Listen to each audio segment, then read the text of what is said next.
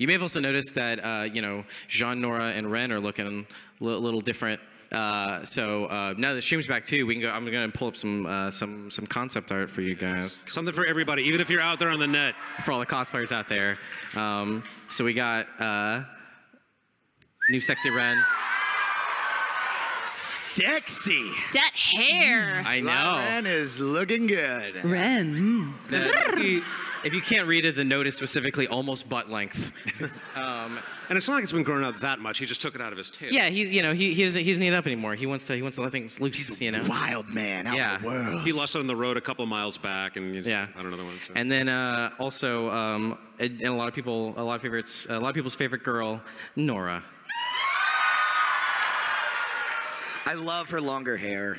Yeah, the I little bit longer. her hairs. bomber jacket. It's Yeah. so cute. Yeah, it's uh, a lot. A lot uh, a lot of people from the uh, the poster that uh, we we showed, which is you know the official Volume Four poster, which will be available in stores, I promise.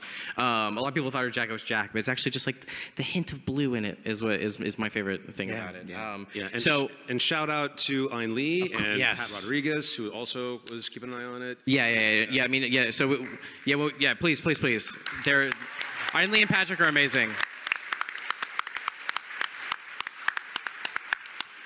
Um, yeah. Um, when we decided, like, hey, you know, in Volume Two, we gave the characters a little bit of a refresh. Let's do it again for Volume Four. Kind of makes sense. Um, uh, you know, yeah. Obviously, we went to Ein Lee. Uh, Pat's been around the whole time, so he helps. He helps with the art direction of it and like actually like making sure that everything's staying in line, uh, which is not hard with Ein Lee, but uh, um, they've been doing a great job. Um, I'm not going to show you guys Jaune's uh, because one, you can see it in the the poster a little bit, and two, because it'll be better if you just see it in episode one. Just trust me. I think you're Just not showing me. it because it's too sexy and we don't want to overwhelm the audience. Yeah. Yeah. The assless chaps. Well, oh, sorry, I ruined it. Oh, He's actually wearing Yang's costume from Volume One, so he has little booty shorts. and I am rocking it. You made me choke on my water. Um,